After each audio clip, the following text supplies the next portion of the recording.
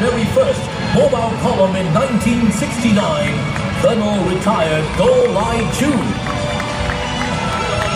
Leading the column, the Leopard 2SG is Singapore's very own main battle tank, equipped with awesome firepower, mobility, and armored protection.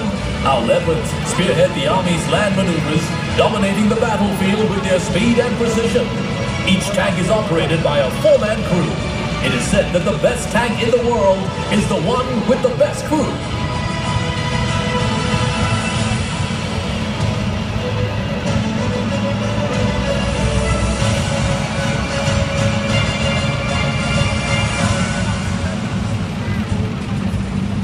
Following closely behind the Leopard 2 SG is the Bionix 2 armored fighting vehicle, developed locally by ST Engineering. It is equipped with a 30mm cannon and can carry up to 8 troopers, and other variants equipped with a heavy machine gun and automatic grenade launcher. Next up is the versatile Bronco all-terrain tracks carrier, designed to maneuver through various types of terrain for field and urban operations. The Bronco comes in several variants to meet a whole range of operational demands.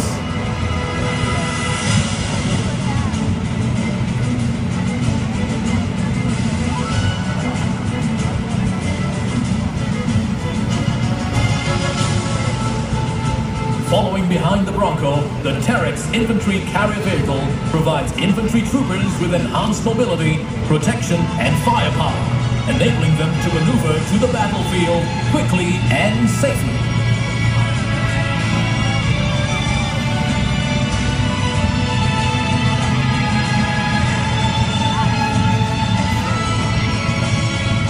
Behind the Terrex is the light strike vehicle Mark II from the Guards. They're equipped with lethal weapons like anti-tank missiles and grenade launchers. Next, our Army intelligence troopers. They deploy the mini UAV to collect information on the battlefield. Now leading the artillery formation, we have the high mobility artillery rocket system. Each of its GPS guided missiles can achieve an accuracy of 10 meters and can be fired up to a maximum range of 70 kilometers.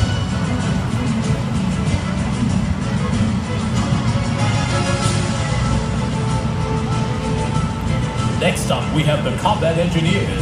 Leading the packet is the brand new armored engineer vehicle, which ensures that no obstacle stands in the way of our army. Other assets from the combat engineers include the armored vehicle launch bridge that enables heavy vehicles like the Leopards to cross wide gaps. The Trailblazer, a countermine vehicle. And the M3G float bridge, which ferries forces across water bodies.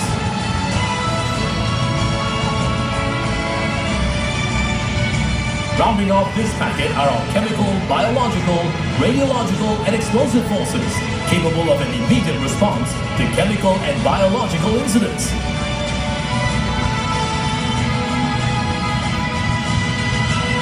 From the signals formation, these vehicles facilitate communication between different units on the battlefield.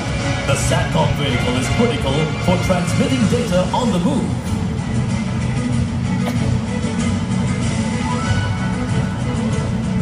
Now leading the Combat Service Support Command, we have the Tracked Maintenance Task Vehicle.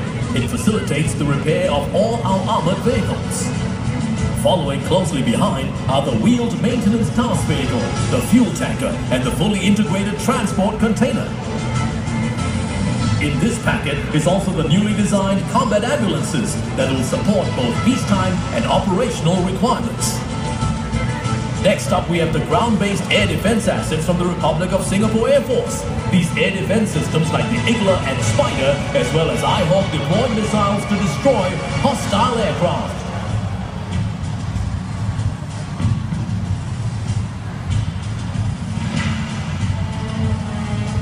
Rounding up the first segment, we have the Sergeant Major of this year's mobile column, Master Warrant Officer Chai Hai Tong.